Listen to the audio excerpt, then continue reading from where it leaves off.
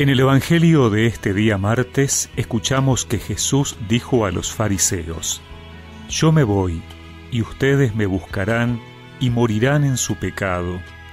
A donde yo voy, ustedes no pueden ir. Los judíos se preguntaban, ¿pensará matarse para decir, a donde yo voy, ustedes no pueden ir? Jesús continuó, Ustedes son de aquí abajo, yo soy de lo alto.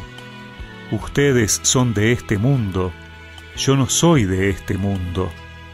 Por eso les he dicho, ustedes morirán en sus pecados, porque si no creen que yo soy, morirán en sus pecados.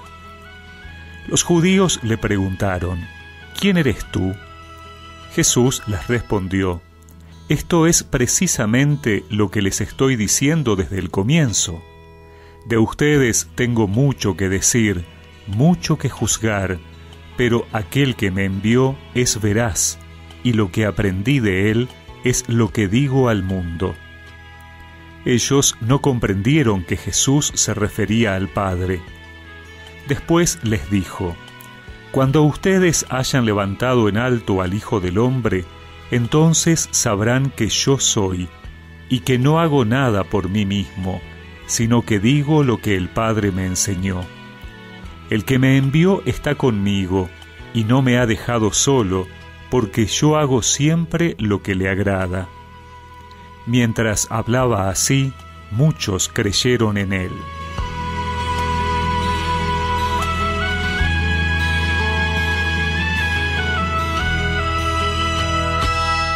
La revelación que Jesús hace sobre quién es Él y de dónde viene despierta una disputa con los fariseos y un rechazo cada vez mayor.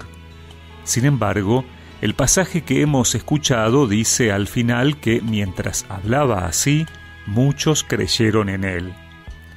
La fe en Jesús no parte de un convencimiento racional sobre argumentos teológicos, aunque ellos son importantes para profundizarla sino que parte de una actitud respecto a su palabra, creerle o no.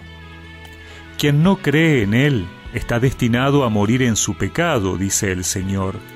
Es decir, que para ser perdonados, alcanzar la salvación, lo primero es creer en Él.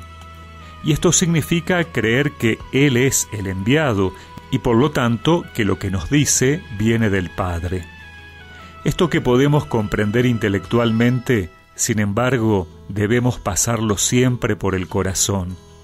Y allí es donde podemos preguntarnos en este tiempo de cuaresma, ¿quién es Jesús realmente para mí? ¿Cómo recibo sus palabras, sus enseñanzas? Porque creer o no que Él es Dios significa aceptarlo o rechazarlo al aceptar o no su palabra.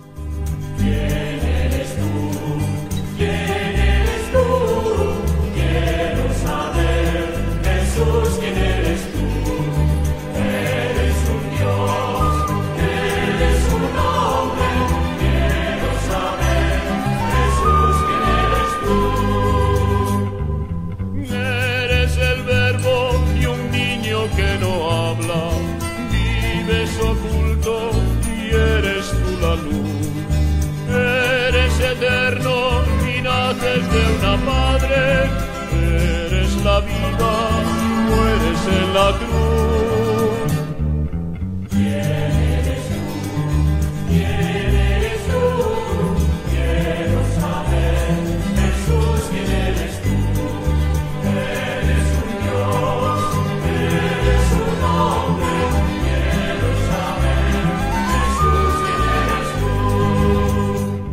tú? Y recemos juntos esta oración. Señor, ¿quién eres tú para mí?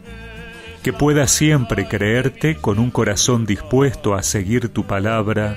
Amén. Y que la bendición de Dios Todopoderoso, del Padre, del Hijo y del Espíritu Santo los acompañe siempre.